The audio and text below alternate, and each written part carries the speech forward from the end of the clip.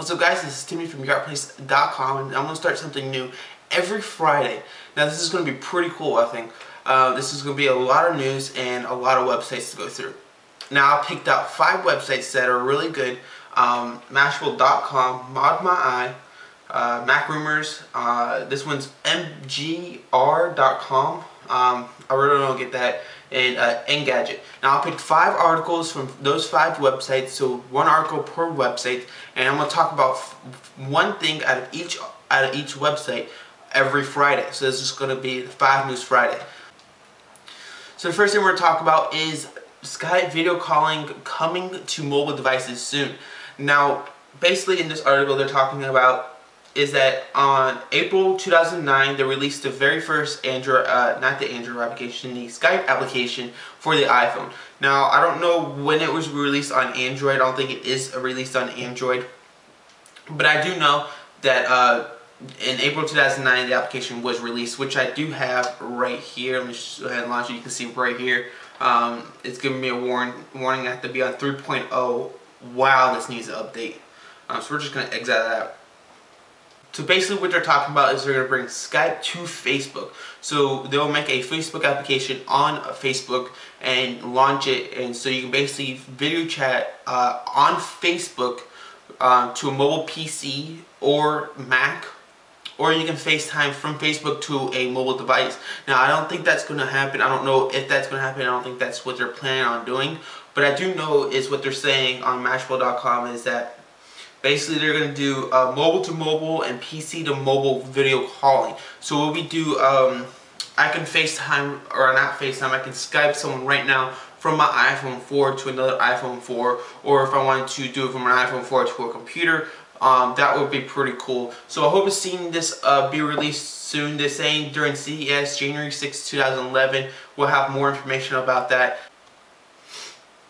Now the second article we're going to talk about is ModMyi. Now ModMyi is basically a jailbreaking community uh, uh, website, so more jailbreaking uh, information on this website, but I just want to talk about this one right here. Now ModMyi is uh, posting an article talking about the 2011 iPad. This is basically the iPad 2. Basically what they're talking about is going to be a landscape device that is going to be on landscape. So the bottom right corner will be the headphone jack and on the right side would be the volume up and down and above that on the top would be the uh, sleep lock button and uh, on the other side would be the camera for the back and the, the uh, camera in the middle on the front. Now I don't think that's basically going to happen that it's going to be in landscape like that. I really do think that Apple's going to keep it uh, straight up and down vertical on the uh, iPad. But uh, they're basically saying that that it should be released in 2011 with two cameras for FaceTime, five visible camera on the rear, and uh, I think believe VGA on the front.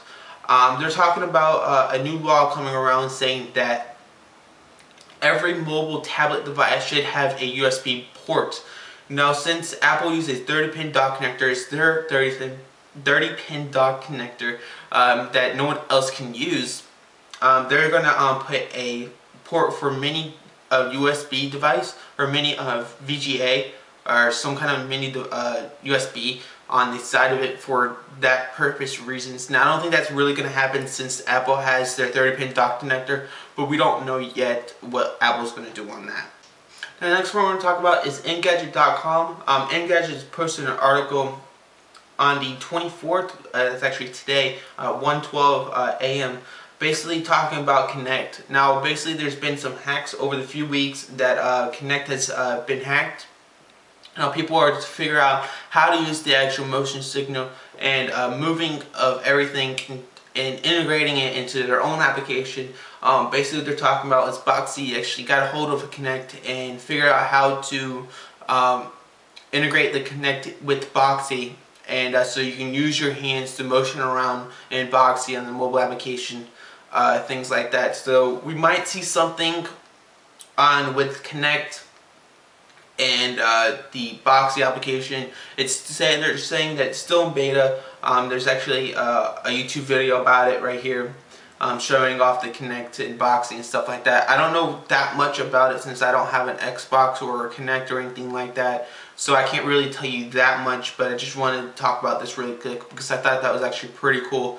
Uh, saying that Boxee and Kinect are trying to work together or they got to connect and they're trying to figure out how to do this so you can do that. But the whole Kinect feature is actually pretty cool because you can actually move your hands around and stuff like that. And integrating that with uh, Boxee is going to be pretty cool. Now, if only YouTube can actually do that also, so we can use the Kinect on a TV with an Xbox and actually watch YouTube videos by swiping with hand or moving our hand around. I really do think that Kinect is going to be the next big thing uh, for other for other people also using our hand signals so we don't have to use a mouse or keyboard or anything like that and it's all going to be digitized in uh, future so this is basically the uh, the future of 2020.